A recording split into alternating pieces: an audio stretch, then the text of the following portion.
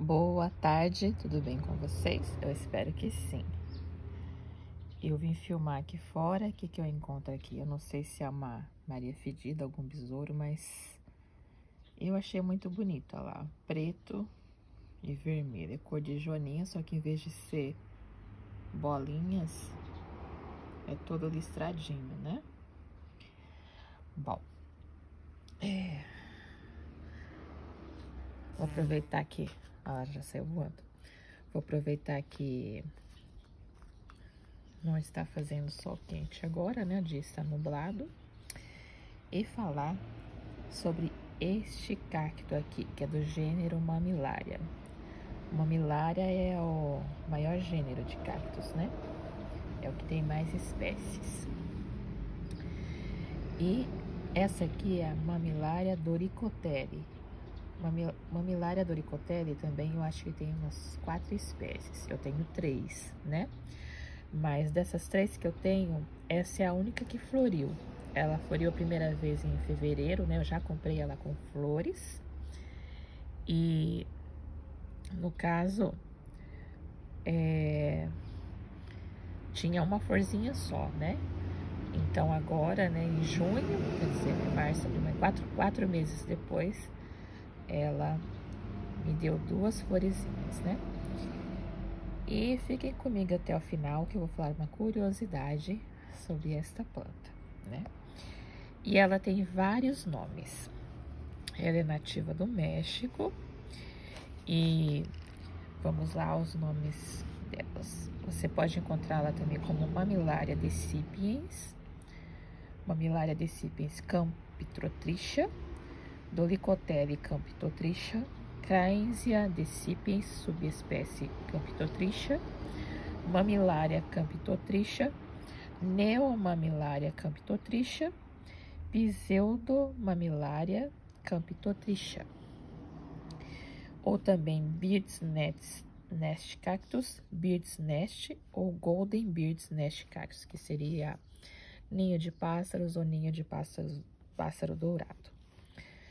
A flor é branca e é pequena, né? E ele pode florescer tanto na primavera até o ao, no verão, né? Ah, gente, antes de continuar aqui, eu vou mostrar para vocês que floresceu hoje. Ali no fundo, olha que coisa mais linda. É, quem sabe o próximo vídeo vai ser dele, não sei, né? E também tem as hortênsias que estão florescendo ali no fundo. Olha que coisa mais linda. E olha a altura desse pé de erva doce. Está maior do que eu.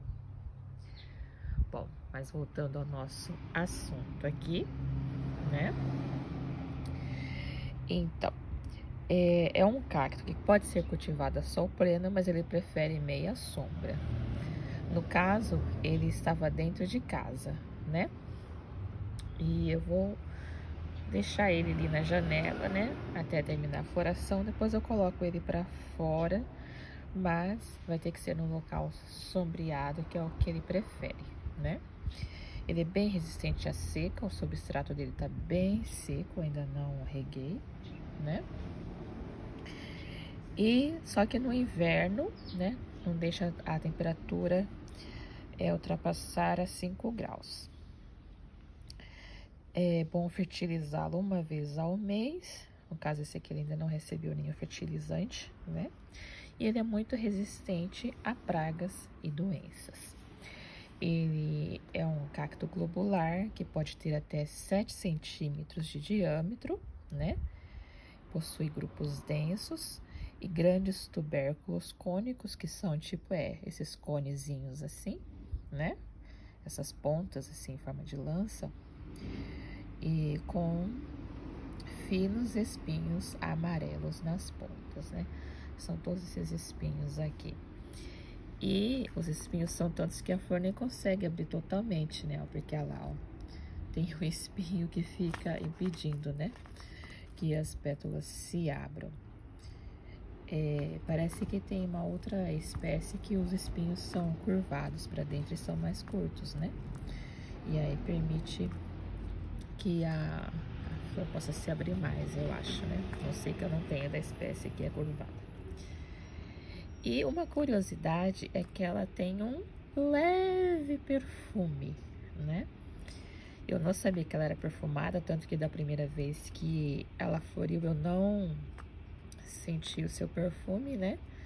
Aí nas pesquisas que eu fiz para passar para vocês, então eu descobri, né, que ela é perfumada e é um cheirinho muito bom. Só que você só sente se você se aproximar bem, né?